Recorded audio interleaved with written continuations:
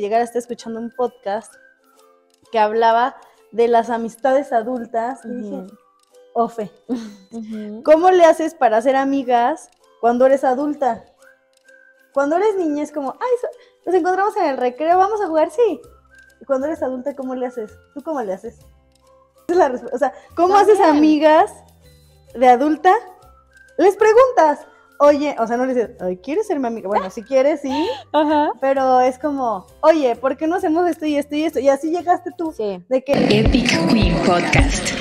Herramientas para construir tu confianza, tus sueños y tu futuro con ciencia y tecnología. Innovación, formación y contenido para niñas y mujeres. Epic Queen Podcast. Hola Queens, ¿cómo están? Bienvenidas, bienvenidas de nuevo a otro episodio más de su podcast, de su podcast de mujeres en tecnología favorito, bueno, mujeres en ciencia, tecnología, ingeniería y matemáticas favorito. Y el día de hoy les quiero contar que al lado de mí está una mujer muy poderosa. Ella es Of, Ofelia Basayo, mejor conocida en el mundo como Of Bas o en Instagram como Ofelia Basayo.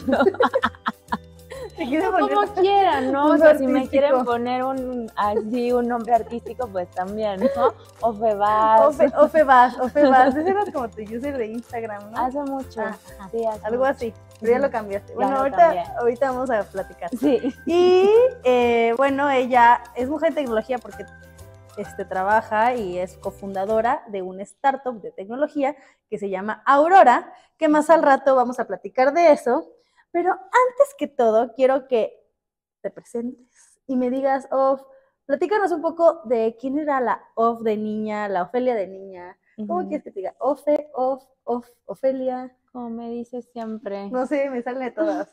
Como te salga. Bueno, Sí. bueno, bueno, Bueno. bueno. Sí, porque somos inclusivos también. Sí, este, bueno, ¿quién soy? Pues soy una persona que nació y creció sus primeros años en Chiapas, en la costa chiapaneca, en una ciudad súper pequeñita que se llama Tonalá, Chiapas. Y pues soy también una persona que siempre sintió como este llamado emprendedor.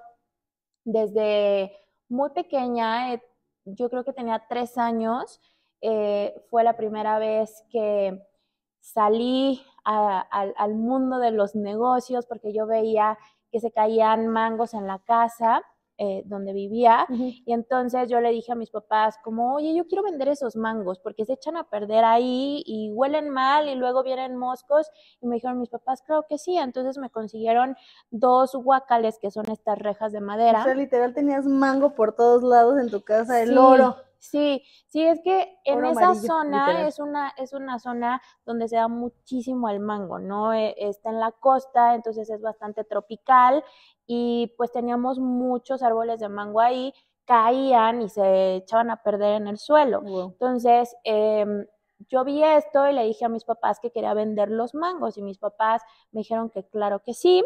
Me consiguieron estas rejas de madera, eh, los recolecté todos, algunos los corté, ellos me ayudaron y conocían a una persona que tenía una verdulería en el mercado de. Tonalá. Entonces, pues pidieron permiso para poder Para ponerme hija de sí. cuántos años? tres. De tres años. Qué sí. tierna, te visto muy tierna. Sí, súper tierna. Ahí me pusieron un- una sillita chiquita con mis dos rejas de mango Oye, y una ¿hay foto de báscula. ¿Hay foto de eso? No, Ay, no, no hay foto, no hay foto, pero me pusieron mi báscula y entonces me dieron como mucho cambio. Mi mamá me, me cambió muchas monedas para poder eh, dar cambio y lo curioso es que no vendía medios kilos, o sea, solo vendía un kilo. Si alguien quería medio kilo o kilo y medio, no, era uno, dos, tres kilos. Entonces, eh, no sé si los mangos estaban muy buenos o yo creo que causé demasiada curiosidad, Yo que los vendí todos luego, luego, sí, súper Sí. chiquitita. Y ese ¿Y fue tu mi mamá primer... im- se puso al lado de ti o cómo?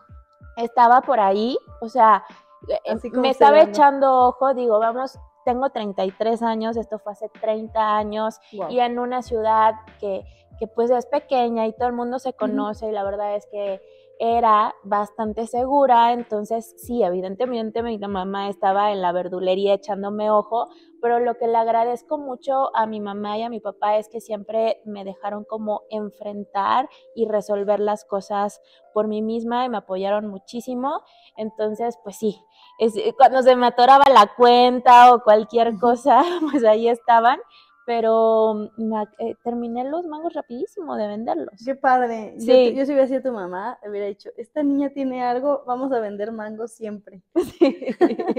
los vende bien rápido. Los vende bien rápido. Sí. Mira, yo creo que entre la curiosidad y que había un producto bueno, pues este, creo que tus papás también este, te apoyaron. Lo que, lo que se me hace increíble es que pudieron haberle dicho a la niña, no niña, tú estás loca que la mayoría le puede pasar así, ¿no? No, niña, tú estás loca y hasta que cumplas tu edad y hasta que te toque, o, sí. ay, no, ¿cómo crees? O pudo, pudo haber sido, ay, no, ¿cómo crees? ¿Cómo va a salir a vender? No, qué pena en el mercado. Sí. ¿Sabes? Sí, sí, porque pues mucha gente tiene como muchos paradigmas o limitaciones en donde piensan que salir a vender algo o ir a un mercado o empezar de diferentes maneras, pues es un tema negativo cuando realmente es como empieces está bien, ¿no? Y hay que tener experiencias absolutamente de todo y que te enseñan a ser súper adaptables y a conocer todo. Así es. Ay, qué padre. Y después de eso, ¿seguiste en tu momento emprendedor desde los tres años hasta los 30? ¿O cómo fue más el recorrido?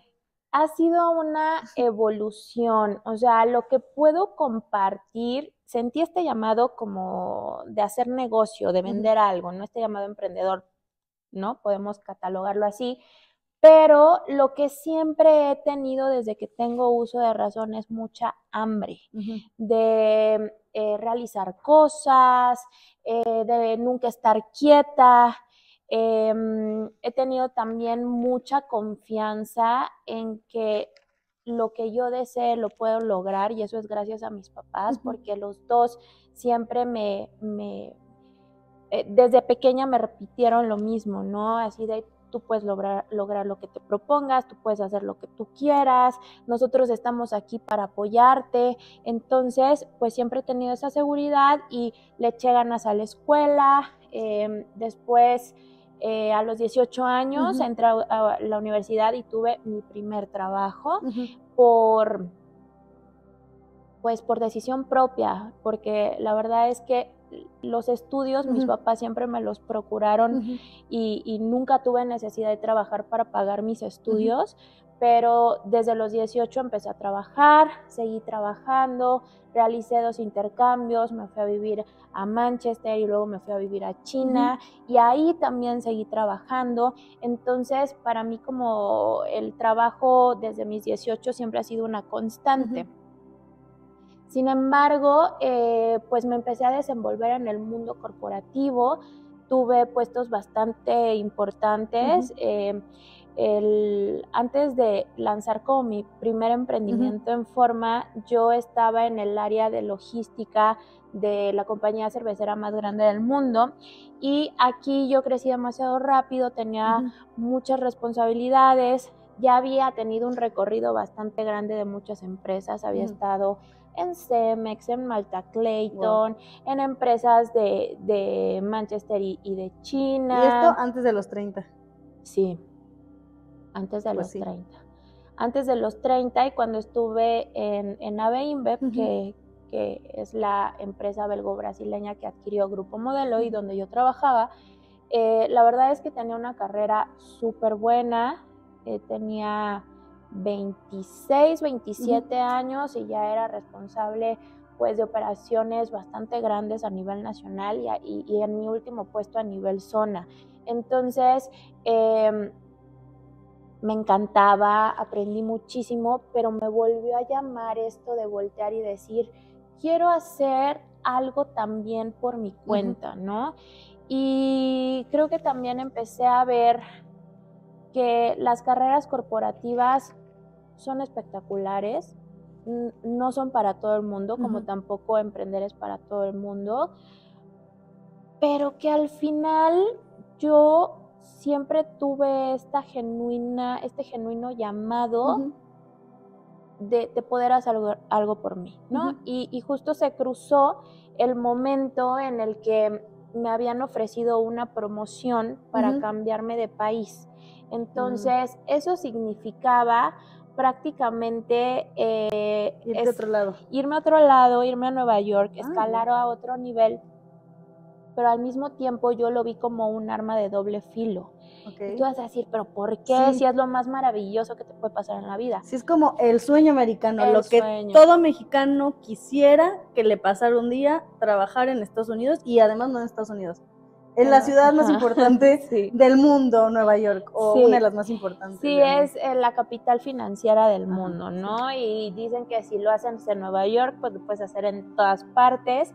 Pero eh, yo empecé a ver que con, tan, con tantos beneficios y cosas buenas a mis 26, 27 años, me iba a enganchar demasiado en mi carrera profesional aún más y para mí ya iba a ser muy difícil tomar la decisión de hacer algo por mi cuenta. Sí, o sea, ya vas a estar más adentro, o sea, como te vas metiendo, metiendo, metiendo, metiendo y ya es más difícil salir, ¿no? Así es. Y, y más, por ejemplo, ahora han cambiado un poco las políticas, pero todavía en, en esos años eh, a la gente que mandaban como expatriado eh, les daban em, pues muchos beneficios y comodidades, ¿no? A lo mejor y te casa. pagaban el, el lugar donde te ibas a quedar, tu casa o cualquier cosa.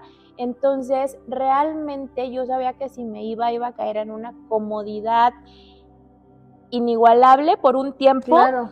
y luego para mí iba a ser muy difícil renunciar a eso. De por sí para mí fue difícil esa primera vez renunciar a lo que yo este, me con- concebía que era, porque yo como lo veo es que la gente de tu alrededor, no de manera negativa, pero sí empieza a crear un ego alrededor de ti Mm. y expectativas alrededor de ti, que te empiezan a decir en buena onda, oye, qué exitosa, oye, qué bien, oye, qué chiquita y ya lograste tantas cosas. Entonces creo que alimentan todo eso e internamente muchas veces Claro. sientes el miedo de defraudarlos. O de salir de esa zona de confort por lo que vayan, no es por lo que vayan a decir los demás, pero por lo que en tu entorno, por lo que eres juzgado en tu entorno. Sí, y por lo que la gente en tu entorno espera de ti. Entonces, pues a mí me costó muchísimo trabajo tomar esa decisión y decir, voy a renunciar. ¿no? Y me voy a arriesgar a hacer algo por mí, estando en una muy buena posición en mi carrera corporativa, estando tan pequeña y teniendo estas oportunidades en la puerta. Pero ese llamado era algo que sentiste como necesito hacer algo más o de verdad no soy no sé si soy tan feliz aquí, porque a mí me pasó cuando la empresa que trabajé fue como, la verdad no soy tan feliz y aunque sea un buen trabajo, prefiero ser feliz. Y hay otras personas que no tienen otra otra forma de verlo, ¿no? O sea, ¿A ti qué te pasó? ¿Fue más porque quiero ser más feliz y seguir mis sueños porque aquí no soy feliz? ¿O sí soy feliz y aún siendo feliz? Quiero lograr, o sea, ¿qué te pasó a ti? Yo creo que fue una combinación de las dos cosas. Pero definitivamente yo estaba demasiado feliz en la empresa, era bastante reconocida, eh, era, o sea, realmente si tú lo veías, pues tenía una buena situación. Claro, por, por el área en la que yo estaba, que era logística, que era operaciones, eran puestos demasiado Estresantes. desgastantes y estresantes, ¿no? Te puedo decir que me ocurrieron dos situaciones. Una, eh, estaba un sábado, según yo, muy normal, sin tanto estrés, y de repente colapsé, me dio síndrome de intestino irritable, pero era por estrés. Eso fue una vez. Y otra vez me salió un brote de rosácea nerviosa. Entonces, aparentemente yo estaba bien, pero pues internamente el cuerpo lo siente todo. ¿no? Y no estaba canalizando o sacando como todo ese estrés. Entonces, sí, sí, sí, sacrificaba muchos aspectos em, como de paz, ¿no? De tranquilidad, pero em, mi situación era buena. Sin embargo, siempre en mí vivió como este gusanito de hacer algo. y, te digo, fue súper difícil, muy complicado tomar esa decisión, porque también vas a lo incierto, ¿no? E, en ese momento eh, no tenía una idea muy concreta de cuál iba a ser mi emprendimiento, pero la verdad es que tampoco tenía tiempo para pensar. Claro, sí. Sí, porque está, o sea, tu creatividad te le está comiendo tanto trabajo. Completamente. Porque cuando uno tiene más creatividad es cuando no está produciendo, produciendo, produciendo, así como que estás expandiéndote. Exactamente, exactamente. Entonces, yo sentí este llamado genuino de hacer algo por mí, pero a su vez no sabía, sabía más o menos por dónde iba la cosa, pero no exactamente qué porque en ese momento no tenía como espacio ni tiempo. Sí, no, ¿cómo vas a darle espacio para la creatividad? Y después de esto, dijiste, no me voy, me quedo, ¿y cuáles fueron los siguientes pasos? Luego lo te llegó la creatividad así de, oh, o no, hubo un proceso seguro. Fue un proceso para primero bajar mis niveles de acelere, porque aunque no tengas a lo mejor tanto estrés, pero sí te acostumbras a un ritmo de, estar trabajando todo el tiempo, ¿no? Entonces necesitas como desacelerarte y bueno, renuncio, em, renuncio y me tomo un par de meses. o sea, literal fue como freno de mano. Freno de mano. Y más bien a veces como freno de mano y tantito reversa, como para ver.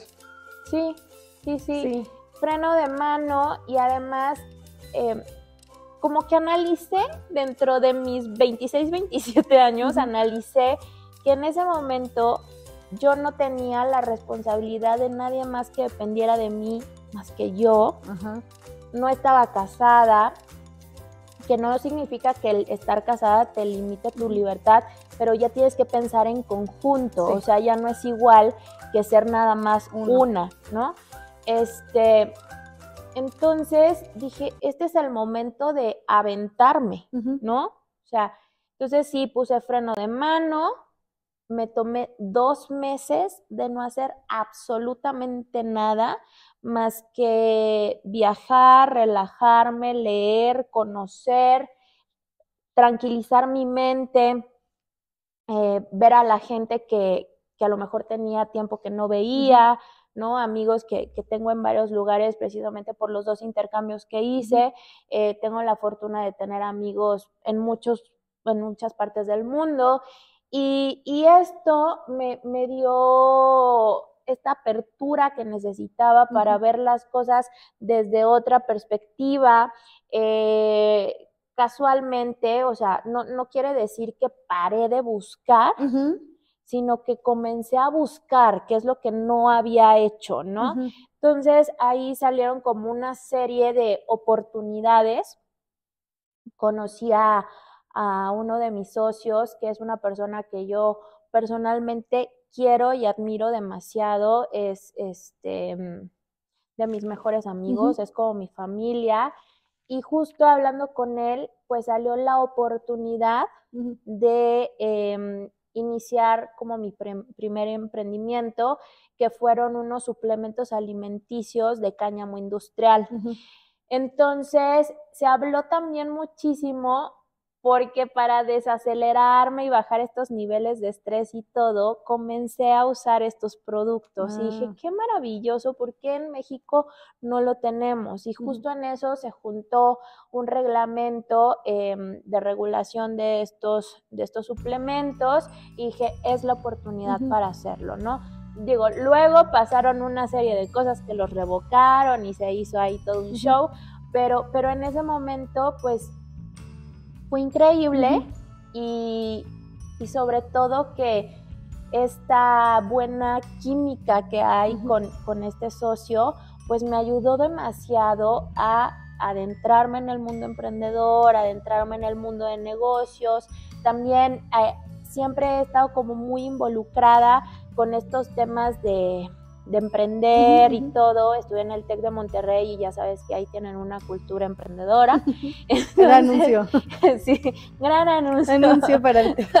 No importa, me, han dado mucho, así que le damos de regreso. Pues tú también eres Exatec. Sí, pero Exatec triple o cuádruple. O sea, soy Exatec de que estudié en la prepa TEC, estudié en el este, en la, universidad, estudié el MBA en el TEC.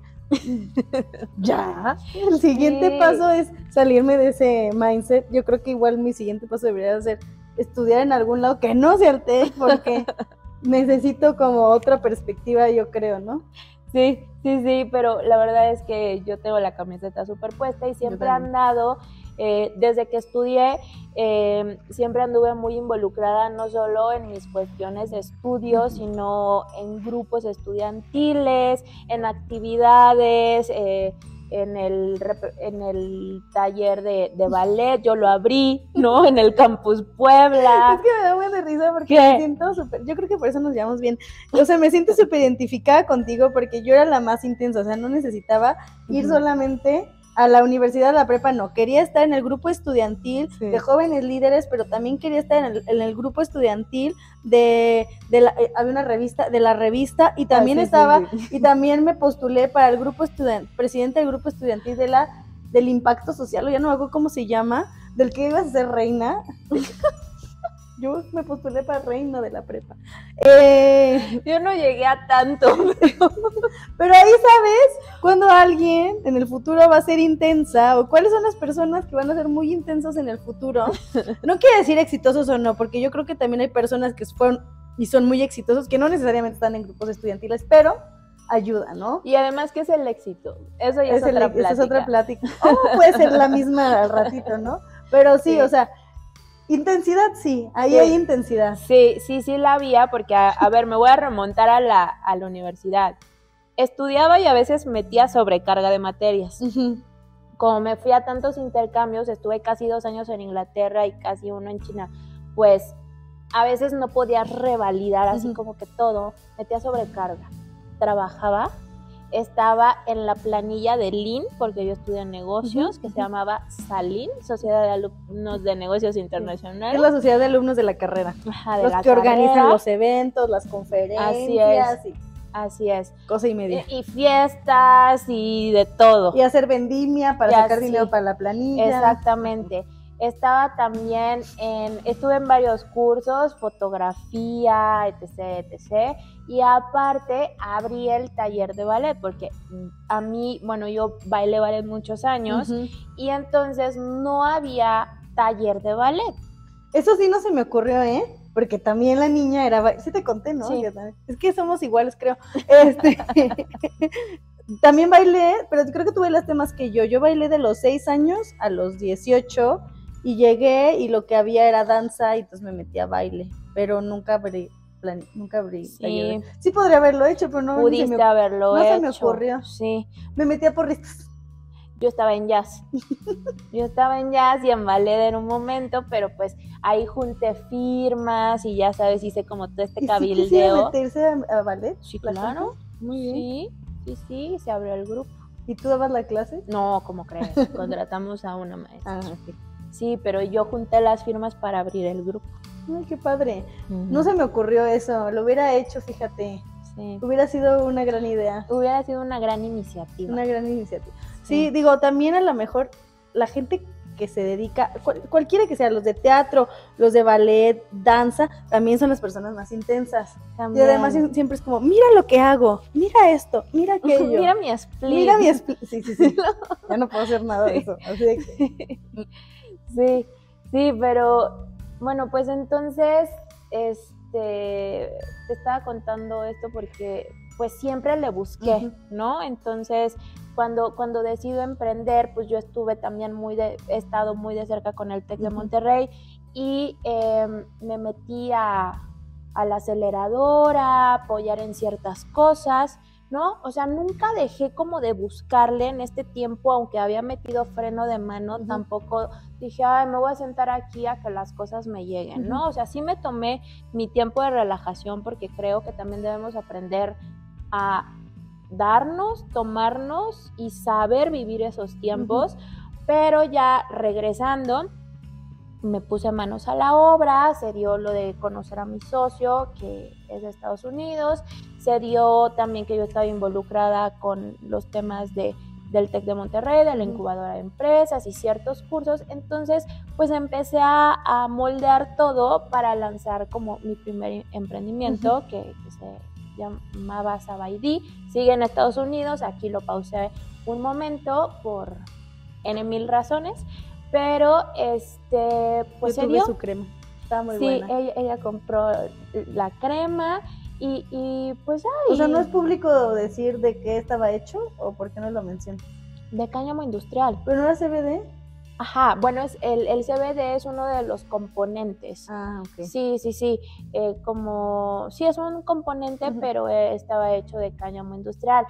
La cuestión aquí es que en México todavía no queda lista la regulación de cáñamo industrial y aunque nosotros tenemos permisos y ganamos como muchos recursos, no a nivel legal, sigue bastante limitado eh, esa comercialización y como la escalabilidad que pueden tener esos productos. En Estados Unidos va increíble, perfecto, pero aquí es limitado. Entonces, si las cuestiones y las condiciones mejoran en el país, pues se retomará, ¿no? Pero, pero sí, o sea, es, eh, es un gran, gran aprendizaje esa empresa. Hicimos muchísimas cosas increíbles y sobre todo que la finalidad era poder ayudar a más personas como a vivir con una mejor calidad de vida. sí. El aceite que me diste en el café estaba muy bueno para no sé si, se lo podía echar el café. Claro, a lo yo se lo echaba el café y según yo me concentraba mejor. No sé si... Sí, es que baja tus niveles de estrés y no está tu mente así como un ratoncito todo el tiempo, entonces te puedes enfocar mejor en lo que necesitas realmente hacer. Sí es, la verdad, gran producto, gran, gran producto, gran empresa. Sí, Ahí sí, le voy a encargar unos. Sí, en Estados Unidos todavía los pueden adquirir. Sí, así es. Entonces, pues bueno, empieza todo esto pero como te comento, los planes como que no salieron, ¿no? A nivel regulación como nosotros esperábamos. Entonces, pues eh, tenía todavía como tiempo y me volví a emplear.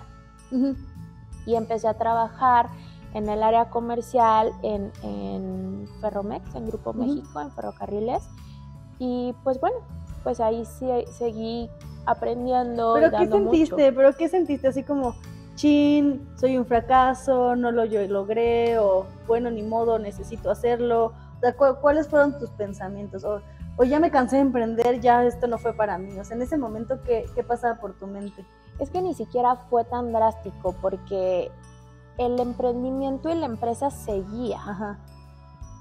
Pero no se estaba desarrollando al ritmo que yo planeaba y que yo esperaba. Entonces, evidentemente por lo mismo, yo tenía tiempo pues para emplearme en otra cosa y también em, pues necesitaba otro ingreso porque la inversión en todo el tema legal no fue bastante fuerte. Y pues a la par de que yo estaba en Grupo México, seguía teniendo mi empresa, ¿no? Y, y, lo podía, era muy manejable y, se, y la empresa siguió creciendo. La verdad es que teníamos muchos puntos de venta y la venta a través de la página era muy buena. Y yo podía como también tener estas actividades en el mundo corporativo, que al final yo te puedo decir desde mi, experiencia, a lo mejor no mucha gente lo comparte, que el ser emprendedor, pero con una formación corporativa, te da muchísimas herramientas. Claro. ¿Por qué? Porque aprendes a enfrentarte a problemas gigantescos, aprendes a, saber cómo funciona el, mundo allá afuera, fuera como de tu ambiente emprendedor, em, conoces demasiado, ¿no? Entonces, eh, pues, pues seguí con mi carrera corporativa y la verdad es que también me fue muy, muy bien. Eh, estar en esa empresa en, Grupo México te ayuda a conocer las industrias de todo el país, porque aunque nosotros no lo vemos, eh, la industria fuerte se transporta por ferrocarril. Sí. ¿No? Sí, claro. O sea, de verdad. Entonces, y pasa increíble. O sea, cualquier industria. Sí, agrícola, automotriz, industrial, eh, metales, eh, cemento, o sea, intermodal. La verdad es que absolutamente sí, cosas que vienen de China y así. Sí, sí, sí, y la más importante, que es la agrícola, o sea, vienen una cantidad de trenes diarios con granos al país impresionante para alimentarnos a todos, ¿no? O sea, sí. Entonces, seguí aprendiendo demasiado, seguí teniendo muchas satisfacciones y a la par tenía mi empresa. No fue fácil, no les puedo decir que, ay, yo estaba increíble y todo era perfecto. Epic Queen Podcast. Este episodio es traído a ti por mi audiolibro Reescribiendo el Código. Lo puedes encontrar en Vic. Epic Queen Podcast ¿no? Durante mucho tiempo, más de dos años, eh, por las tardes terminando mis, mis actividades que también eran bastante pesadas en, en Grupo México, pues yo tenía que trabajar en lo mío, checar ciertas cosas, fines de semana, ¿no? Entonces, pues sí fueron como dos años que no tuve mayor descanso. Y aparte también, em, pues en esta empresa yo viajaba muchísimo, entonces sí fue un reto, pero al final eh, siempre lo he visto como mucho aprendizaje, mucho aprendizaje, así es. Muy bien. Sí. Y entonces, ¿qué te iba a decir? Viene Ferromex y en qué momento comienzas con lo que estás haciendo ahorita. ¿Y qué estás haciendo ahorita? Ok. O, me salté mucho. No, no, no. Según yo es el siguiente paso. Sí va bien, sí ah, va bien, sí va bien la cronología. Pues fíjate que sigo en Grupo México, pero justo con miras de mm, seguir expandiendo el negocio de Sabaidí, este, pues empezamos a trabajar con otras personas como otro proyecto, de hacer como tipo un banco para una empresa que tiene muchas sucursales en México, que no puedo decir el nombre, y de repente, este, las cosas pues eh, no sucedieron, ¿no? Y, y, dije, bueno, creo que pues ahorita podría también como ser el momento, entonces en ese, en ese inter, junto con mis socios, vemos el, la oportunidad de Aurora, ¿no? Que Aurora es una fintech, cuando dices fintech es tecnología y finanzas juntas. Ok de beneficios para colaboradores que se hablaba con el proyecto que como venía trabajando mientras seguía en Grupo México y mientras tenía mi empresa también. Entonces eh, se empezó como a concretar y a materializar. Tomó la decisión de, o sea, de terminar con mi trabajo con Grupo México y me quedo nada más con Sabaidí y con Aurora, ¿no? Aurora, Tengo una duda. Sí.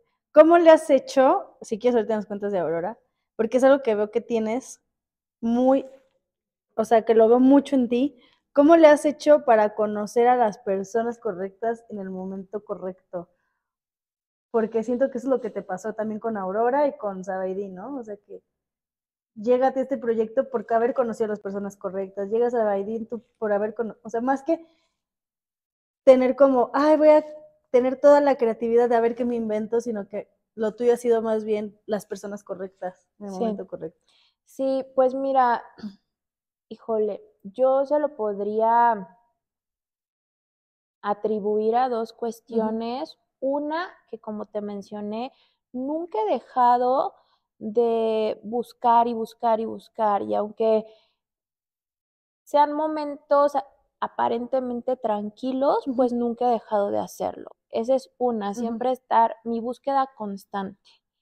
La segunda es, yo creo por mi naturaleza, aunque mucha gente me ve muy seria, la verdad es que me encanta conocer gente. Me encanta también compartir experiencias, me encanta eh, que me platiquen, me encanta eh, relacionarme. O sea, eh, tengo una dualidad porque también disfruto enormemente estar sola y a veces puedo ser demasiado mm, ermitaña, ¿no? Pero por otro lado me, me fascina este, eh, el, el conocer, el que me cuenten, el saber más, el conocer como las mentes y los mundos de otras personas y que son distintas a mí.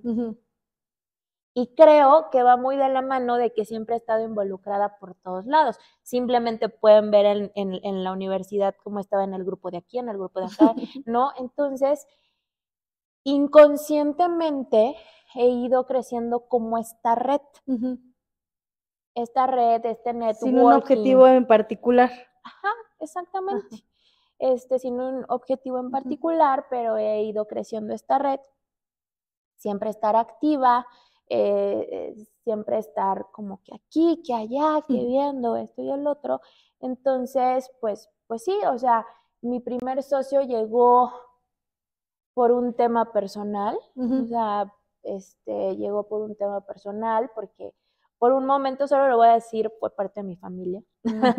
No, o sea, fue parte de mi familia, pertenece a mi familia por un tema personal, pero pues eh, cuando dos mentes como que piensan similar, se conocen, este. ¿no? Y él es un hombre de negocios, entonces empezamos a hablar, tu, tu, tu, y se dio. Y en lo segundo, pues con Sabaidi, con, con mis socios actuales, pues me empecé a involucrar en ambientes de rondas de inversión y estas cosas, entonces vas conociendo y vas tejiendo estas redes y estas relaciones de gente que se dedica a eso, ¿no? Entonces, yo se lo atribuyo a, a, a mi búsqueda constante y a siempre el gusto de, de conocer y, Ujú. y de aprender y, y de tener como muchos amigos, o sea, de manera inconsciente.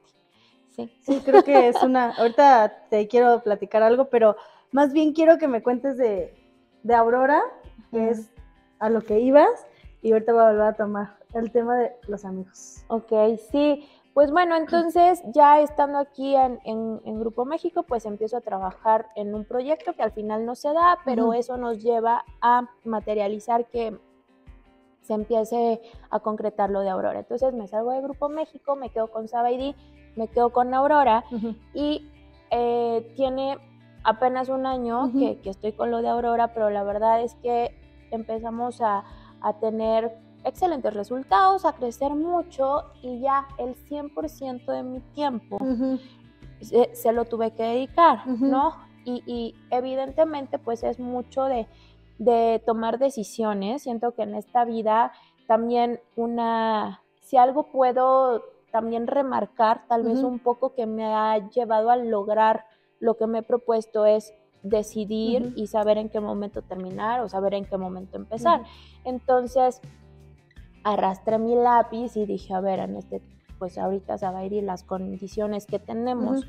en temas de regul- regulatorios aquí en México no es tan bueno, de todas maneras le tengo que invertir mucho tiempo y por otro lado, pues ahora está creciendo mucho, entonces mejor pauso y espero a, a ver si las condiciones eventualmente mejoran que se quede nada más la operación de Estados Unidos, que mi socio la tiene de una manera fenomenal, y me quedo con Aurora al Ujú. 100%, ¿no? Porque aparte, pues hay que recordar que una startup Sí, es súper clave los primeros años, el poder dedicarle pues toda tu atención, todo tu tiempo, todo tu esfuerzo. Entonces, pues, pues sí, hice la Sí. apuesta por eso. Que creo que el tema de las startups, eh, al final, eso me queda clarísimo, que no es un, una industria en un mundo para todos. O sea, un tiempo estuvo muy de moda de que "Ay, yo tengo mi startup, yo tengo mi Sí. startup, y startupitos por todos lados. De verdad. Pero se escuchó muy doble sentido, start- Sí, sí. startuperos, startup- ¿Cómo? Una disculpa para el blooper. Este, startuperos, corte. Ah, no, no es cierto, no lo voy a cortar. Startuperos y startuperas por to- más startuperos por todos lados. Y después te das cuenta que la verdad es que, o sea, sí entiendo que está muy bien el balance de vida y carrera, pero, pero, si quieres ser startupera, y yo te lo digo así claramente, los primeros años en un startup y como emprendedora, sí tienes que estar más enfocada. Digo, puedes no perder tu vida en la vida, ¿verdad? Pero sí tienes que estar muy enfocada Sí, en eso. Y eso sí no es para todos, sí. Sí, porque aparte, eh, pues sin asustarles. No, no, no se asusten, pero yo cada que tengo oportunidad siempre digo que, a ver, ser emprendedor no te hace mejor que trabajar en el mundo corporativo. Aunque Por, un tiempo parecía que sí. por un tiempo estaba súper, híjole, Endiosado. no, bueno, bueno, bueno, es que si eras startupero eras lo máximo. Y, y realmente no es así, o sea, las empresas y, y los empresarios necesitamos gente que realmente te lleve al nivel y pueda este, convivir con, con los objetivos, gente capaz, gente preparada, y eso no te hace menos ni, ni ser, eh, tener una carrera o ser alguien como menos exitoso que alguien que tiene un startup. Sí, ¿no? sí, sí. O al revés, ¿no? Que en el mundo, cuando muy de boomer, que solamente eran exitosos quien tenía una carrera oficinista y los demás no. O Exactamente. sea, creo que ya nos estamos dando cuenta que el éxito se ve de muchas formas, que puede ser muy exitoso siendo TikToker, hablamos hace rato de, de TikTokers, o puede ser muy exitoso siendo empresario, o puede ser muy exitoso siendo eh, CEO, o no, o ser exitoso porque tú eres muy feliz en tu nivel de, de profesión que tienes y no quieres ser la más grande directora del mundo porque eres más feliz con una vida personal. ¿no? Exactamente. Pero pareciera en algún momento que sí era así. sí, Sí, es que así fue como nos los pintaron, yo creo que mínimo 10 años, sí, ¿no? De que, ay, eran los rockstars. sí. ¿no? Y, y no, y realmente sí tienes muchos beneficios de poder, pues no sé, de- de administrar tu tiempo si es que tienes al- algo que hacer. ¿no? Pero por otro lado, cuando viene el tener algo listo, pues es no dormir, es también toda esta responsabilidad de las inversiones de tu dinero, pues Se ya nos cayó la Se me cayó el astronauta. O sea, sobre tus hombros, el salario de la gente, eh, que familias dependan directamente de, De tus ti. decisiones. ¿no? Sí. Entonces, no es para todos. Pero bueno, ¿y entonces? ¿Qué, qué me ibas a decir antes de eso?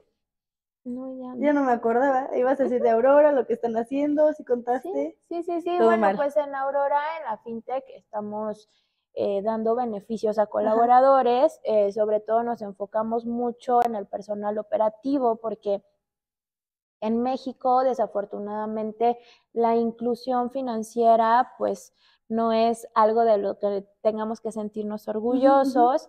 Y pues las, o sea, nosotros nos especializamos en dos. Uno es créditos o adelantos de nómina y otros son como seguros, pero como te digo, es muy enfocado a la base de la pirámide. Eh, si una persona, les voy a dar un poco de contexto. Doña Juanita trabaja en una maquila, su hijo se rompe un brazo y necesita dos mil pesos para poder pagarle el yeso o cualquier cosa. Nadie se los presta, o- No. o sea, entidades bancarias, ¿no? Y si se van a pues otras entidades, los intereses son muy grandes, los montos son muy grandes o también se van a la ilegalidad. Entonces es ahí donde nosotros entramos porque las empresas son los que tienen a Aurora como una prestación para sus colaboradores. Entonces pueden adelantarle, por ejemplo, el salario. Ajá, exacto. Y después, o sea, la persona puede elegir, o sea, son tasas bastante bajas, este, pueden elegir en cuánto tiempo pagar, tres o seis meses, y nunca vamos a sobreendeudar a las personas. Y también tenemos como seguros bastante buenos, que funerarios, de vida, de accidentes, que te cuestan 26 pesos, 9.50, 30 pesos al mes, entonces son muy accesibles. Está muy padre, la verdad. Sí. Pues me gusta mucho lo que estás haciendo con Aurora. Muchas gracias. Digo, y también seguro que si lo siguiente que venga para ti, si no es Aurora o es Aurora, pues sabes que puedes crearlo desde, desde donde tú quieras. Así es. ¿Te ves siguiendo emprendiendo en el futuro, creciendo en este ambiente? ¿Qué, qué- cómo, cómo lo ves? Híjole, mira, yo realmente te puedo decir que todo es cíclico.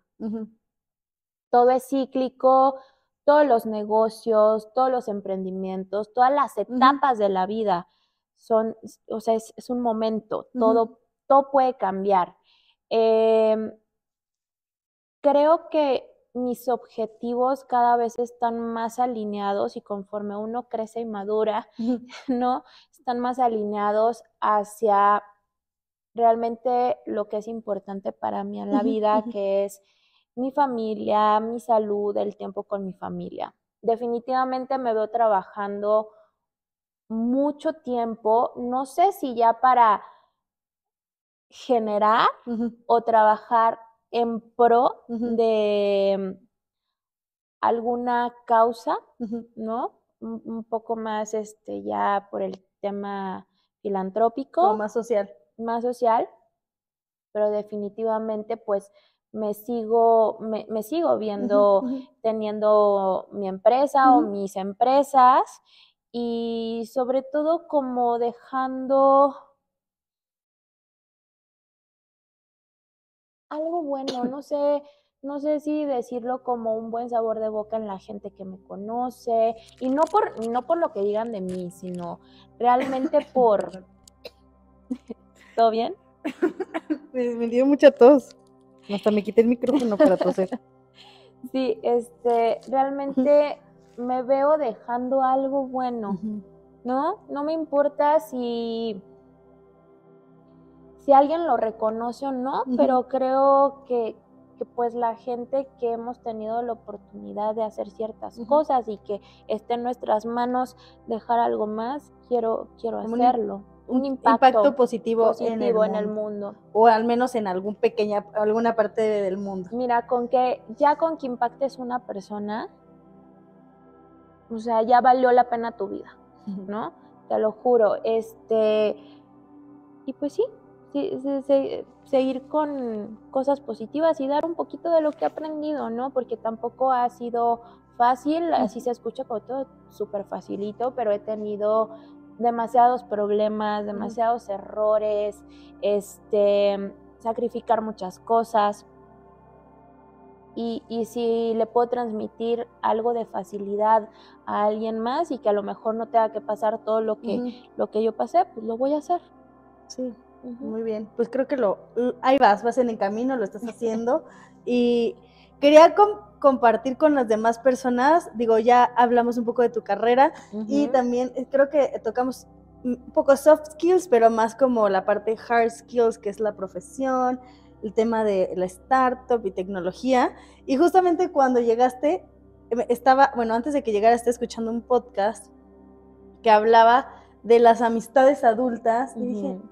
Ofe, es que, a ver, déjenme les cuento, ahora va mi, mi, punto de contar, mi, Ahora mi de va. cantar. Sí, sí, sí. Ofe llegó a mi vida muy fortuitamente, pero, o sea, podría haberse quedado ahí, ¿no? O sea, como la conocí en una boda porque nos pusieron en una mesa, en la misma boda, y En la yo misma mesa. en la misma mesa, ¿en la dije? En la misma boda. Nos pusieron- sí, nos evidentemente. pusieron en la misma mesa en la boda que me invitaron, que no estaba invitada yo, sino que me invitó una amiga de su Plus One, ¿no? Porque no tenía con quién ir. Entonces, pues nosotros no conocíamos a nadie en esa boda y nos tocó platicar, porque creo que nos pusieron así como, pónganse ahí los de la Ciudad de México. Yo creo que tu primo sabía muy bien como, ay, a estos Sí. pónganlas juntas, a los Sí. locos acá. Sí, como que ellas viven en la Ciudad de México porque no fue aquí, fue en la provincia.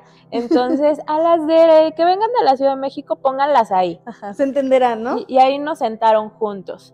Y ni platicamos tanto, No, nos presentamos poco. poquito, sí, Ajá. platicamos un poco. Sí, digo, es una fiesta. y... Tampoco, ¿qué? Sí, Ah, sí, sí, sí, sí. sé sí, sí, sí. Sí, no era un café, o Tu sea, era hermana estaba fiesta. más al lado de mí. Podría ser, haber sido más fácil llevarme con tu hermana, Ajá, porque estaba al lado de mí. Puede ser, Sí. Ajá. Y entonces ya me pidió mi Instagram y ya me le pasé mi Instagram y ya de repente nos empezamos a comentar en Instagram como amigas de Instagram, ¿no? Y entonces esta Además, pu- señora, Pura soncera, Sí. así de. likes y así, Ajá, o, sí. no sé, o nos enviábamos cosas.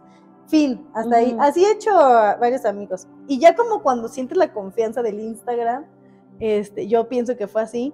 Esta señora intensa, porque justamente escuchaba en el podcast, y creo que esa sería tu respuesta, pero quiero que me lo confirmes. ¿Cómo le haces para ser amigas cuando eres adulta? Cuando eres niña es como, ay, nos encontramos en el recreo, vamos a jugar, sí. Y cuando eres adulta, ¿cómo le haces? ¿Tú cómo le haces? Ya lo viviste.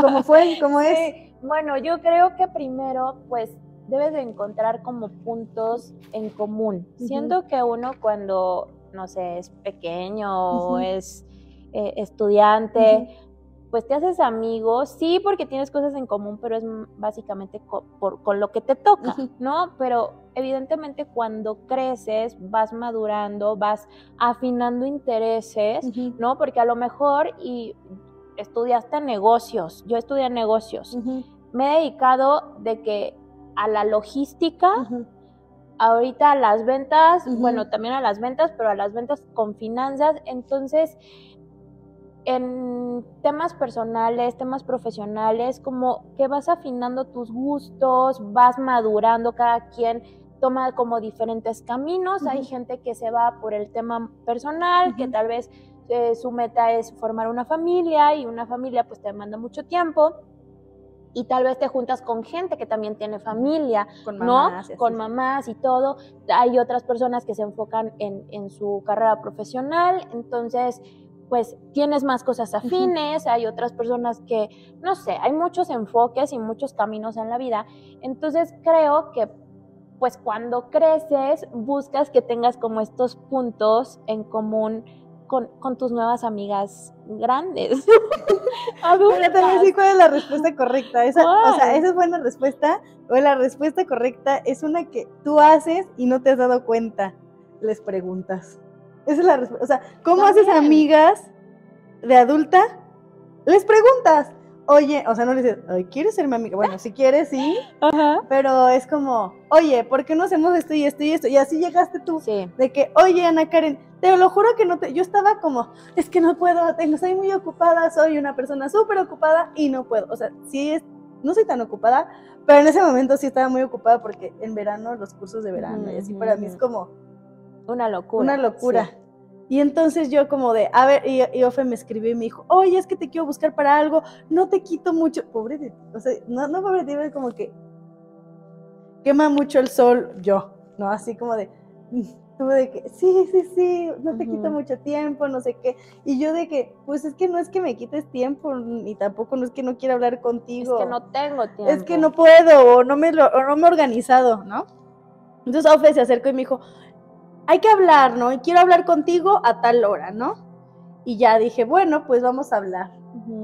Y primero no fue como, quiero ser tu amiga, fue como, vamos No. a hablar a ver qué hacemos y así, ¿no? Claro. Este, pero pues sí, iba más por ahí, creo, y, y como de estas pláticas salió otra cosa, y luego hicimos un evento, y, y, hace- y nos mandamos tonterías en Instagram, y el otro día fuimos a comer, tampoco ha sido como, o sea, creo que ha sido de mis, más, de mis mejores encuentros este año, pero por favor, si alguien quiere ser mi amigo, acérquese a mí, porque la verdad, la verdad es que soy una súper mala persona para hacer amigas, porque, o sea, me, da, me cuesta mucho trabajo acercarme a nuevas personas porque me da como nervio mucho, porque también soy media de repente intensa y me da miedo que la gente se asuste porque es intensa, soy intensa, pero como tú eres muy intensa y yo soy intensa, entonces creo que eso nos ayuda.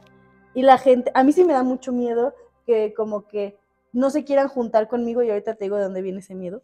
Eh, y tú te me acercaste así y dije como, hay alguien que quiere estar mucho, que quiere convivir conmigo y que me cae bien, pues voy a ser su amiga oficialmente. Oficialmente ya somos amigas. No, no sé. y- pero te voy a decir, creo que de dónde viene, porque a mí me ha pasado mucho que, por ejemplo, me acerco a personas que sí les he dicho, ay, es que yo quisiera ser tu amiga. Me pasó con una persona que es una podcaster muy famosa en México, no voy a decir su nombre, que le dije, de verdad quiero ser tu amiga, pero cada vez que lo intenté, no pude, o, o como que le hablaba y nunca contesta sus le hablo, o sea, obvio con, por WhatsApp es difícil, pero pues si no vive en esta ciudad, la única forma es por WhatsApp. Le hablaba por WhatsApp, intentaba y le decía, oye, cuando vengas a México, búscame, no me buscaba, oye, quiero hacer esto, oye, te vi en tal evento, pero no me contestaste el mensaje y como que una y otra vez, una y otra vez.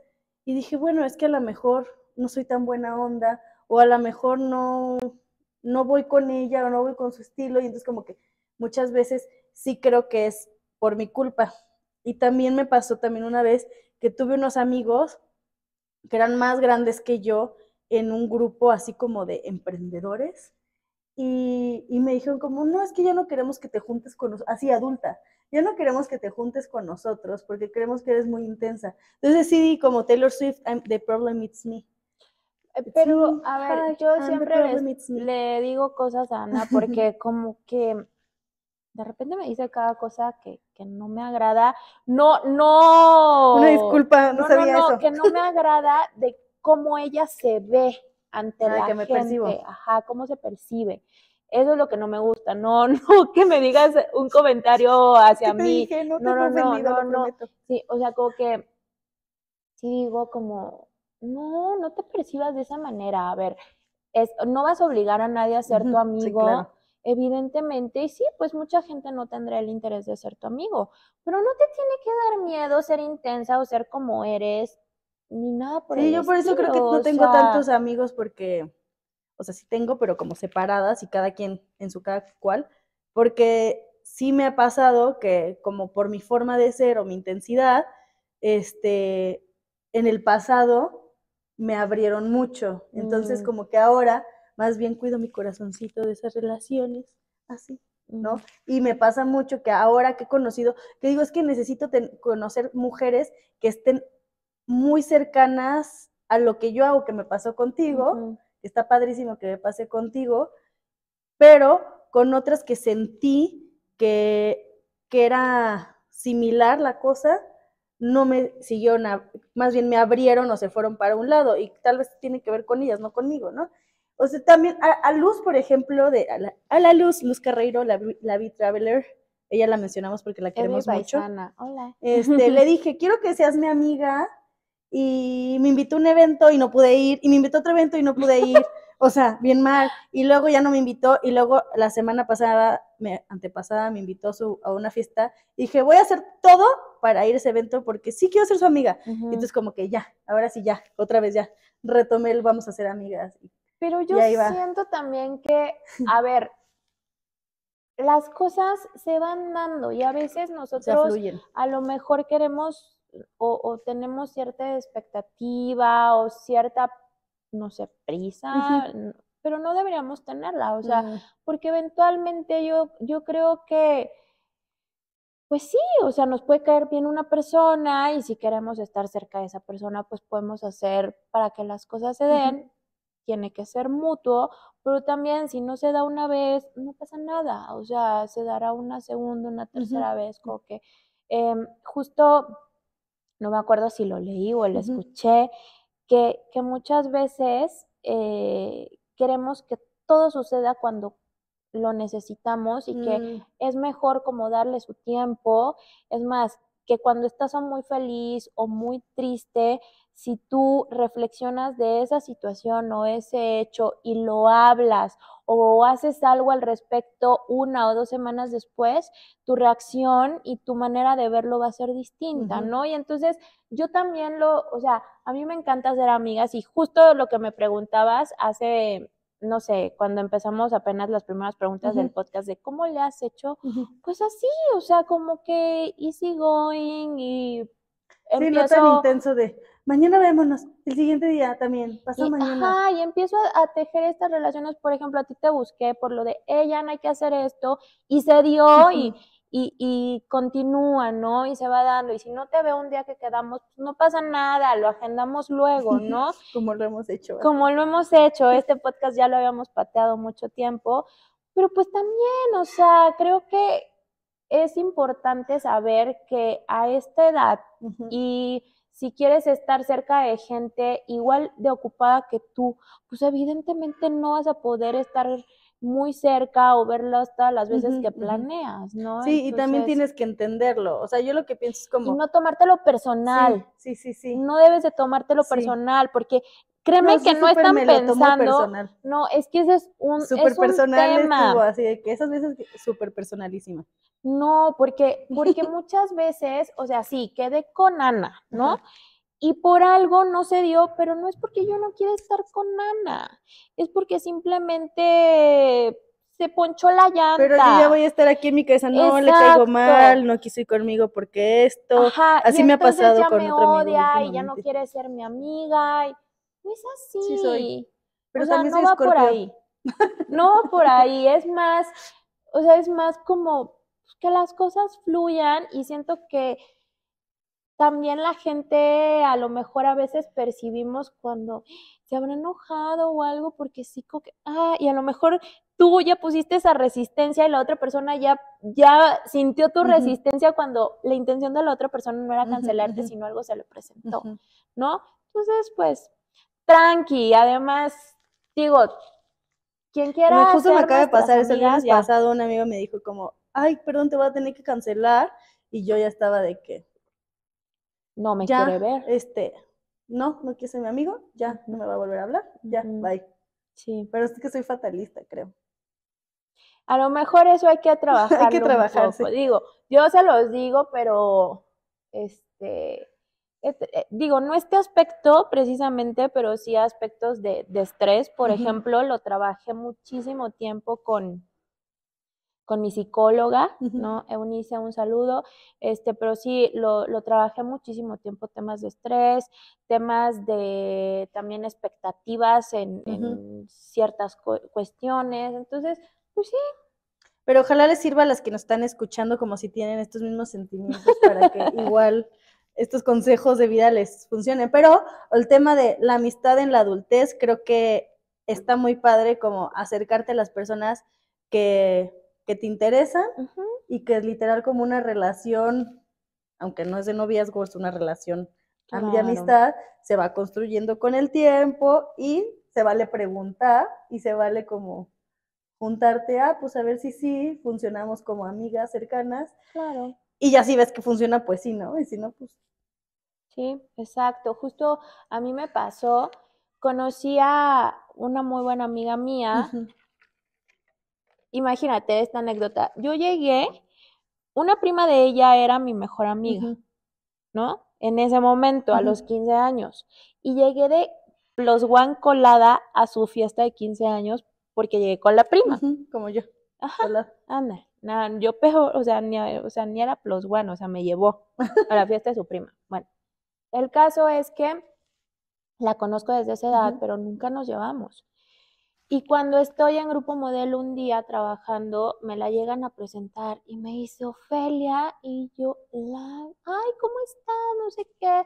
Y nos saludamos y de repente empezamos a convivir y ahorita digo, no nos vemos tanto porque ella es una persona igual súper ocupada, pero te puedo decir que es una excelente amiga, la quiero muchísimo y la conocí a los 15 años y a los 15 años no hicimos clic y nos vimos 10, 12 años después y ahora es de mis mejores amigas. ¿no? Sí, Entonces, sí, sí. son esas cosas que cuando uno va definiéndose y puliendo tus, tus gustos y creciendo y madurando y tomando tus caminos, pues ya las amistades son distintas. Pocas son las amistades que tienes desde muy pequeño y que conservas hasta este momento, ¿no? Eh, sí tengo, sí tengo, pero mi mejor amiga Michelle es como mi hermana, que la conozco desde los 15 años y hemos crecido juntas. Pero eh, eh, son amistades que deben de ser demasiado, son muy puntuales y muy especiales y con circunstancias como de igual muy especiales para que trasciendan. Pues sí, al final, pues, o buscarlas o, hace- o se pueden ir construyendo. Sí, muy bien. ¿Y qué más? Bueno, se nos acabó el tema de la amistad. ¿Algo más que nos quieras compartir para que, si no, ya para ir cerrando? Sí, bueno, pues sobre todo que a quien escuche este podcast, eh, siempre, siempre que tengo oportunidad, no lo terminé de decir, lo digo, em, cuando escuchen como historias de emprender y todo esto y no son emprendedoras no se sientan menos, ese, es un punto. Y otro punto mm. es que siempre se valoren y, o sea, aunque a veces existan factores o personas que nos hacen dudar de nosotros, de nuestras capacidades, ¿no? No, no, no lo hagan. O sea, realmente siempre eh, valórense, tengan como súper claro quiénes son, qué pueden hacer, hasta dónde pueden llegar.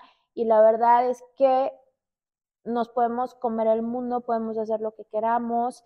Em, les aconsejo también que busquen siempre como tener estas redes de apoyo. Siempre hay gente que no espera nada a cambio y que, y que te va a dar una mano, que te va a apoyar. O sea, también le puedo atribuir mucho de las cosas que he hecho a, eso, ¿no? A, tener una red de gente desinteresada que, no te explicas ni por qué ni cómo, pero, pero te apoya y, justo que, que mm, si tienen una meta, un sueño, trabajen por conseguirlo, no va a ser fácil, todos nos equivocamos, todos nos caemos, pero creo que el, mayor em, mérito es no detenerte y pues enojarte, llorar, eh, frustrarte un momento, pero el mérito es salir y continuar, ¿no? Entonces también pasa todo y no pasa nada, no se estresen de más, no sacrifiquen em, lo importante en la vida, ¿no? Este, su salud, eh, su familia, denle la importancia necesaria y si trabajan sobre ello, pues todo se resuelve. Ay, que me gustó, qué buen cierre, qué romántico. ¡Bravo! Aquí se acaba. No es cierto. Ofe, ¿dónde te podemos encontrar a ti? A mí. Primero y segundo, por los que quieran saber más de Aurora. Sí, bueno, pues en mis redes estoy como Ofelia Vasallo, en Instagram creo que estoy Ofelia-Vasallo, eh, y en las demás redes igual. eh, Digo, no tengo tantas, ¿verdad? Solo es como Instagram.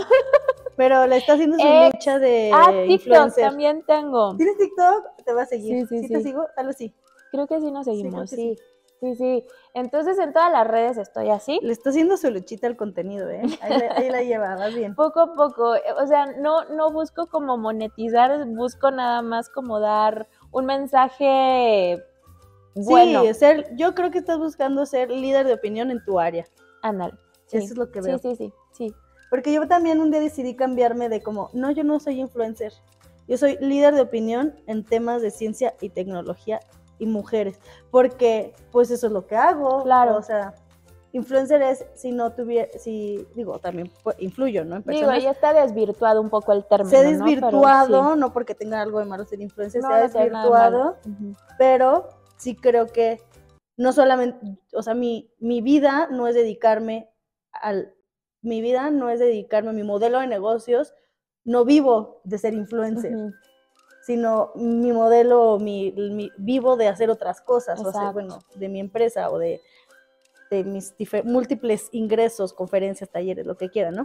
Eh, y pues es ser una influencia, sí, pero eres una líder de opinión acerca de estos temas y por eso te sigue mucha gente. Entonces creo que lo que tú estás buscando, esa es la palabra correcta. Eso. Que otro día decía, ¿qué palabra, qué palabra? Y la escuché y dije, ah, líder de opinión me gusta. Sí. Sí. Sí. Líder de líder opinión. de opinión, busco ser líder de opinión. Entonces, en mis redes como Ofelia Vasallo y em, para los que estén interesados y quieran conocer un poco más de Aurora es auroramx.mx. Muy bien, pues muchísimas gracias. Gracias a ti por Epic Queen Podcast. Herramientas para construir tu confianza, tus sueños y tu futuro.